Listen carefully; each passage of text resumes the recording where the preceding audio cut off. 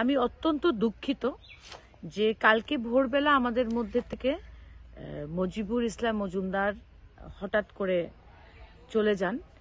এবং মজিবুর মজিবুরদার সঙ্গে আমার সম্বন্ধ আজকের থেকে না, কিন্তু আমার প্রয়াত বাবা সন্তোষ মোহন দেব যেদিন থেকে ত্রিপুরাতে রাজনীতি করছিলেন, তখন থেকে আমি মজিবুর মজিবুরদাকে চিনি।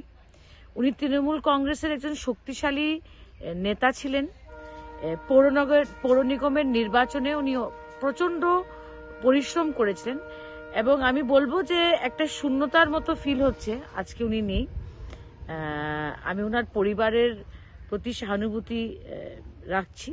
এবং আমরা কথা দিচ্ছি যে মজিবুর দাকে ভারতীয় জনতা পার্টির বাইক বাহিনীরা আঠাইশ অগস্টে আক্রমণ করেছিল এবং ওনার হাত ভাঙার পরে ওনাকে হসপিটালাইজ করা হয়।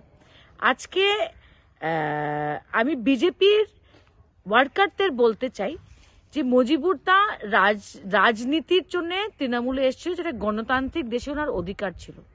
কিন্তু ভারতীয় জনতা পার্টির গুন্ডারা এবং বাহিনীরা যে কাজটা করেছে, যে অন্যায়টা করেছে, এটা আমরা কোনোদিন ভুলবো না।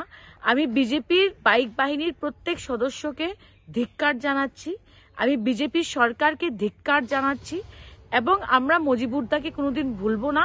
আর ওনার মৃত্যুর জন্য দায়ী ভারতীয় জনতা পার্টির ওয়ার্কাররা যারা ত্রিপুরাতে ওনাকে আক্রমণ করেছিল Subscribe to Tripura Info and press the bell icon so that you never miss any latest updates and news on Tripura.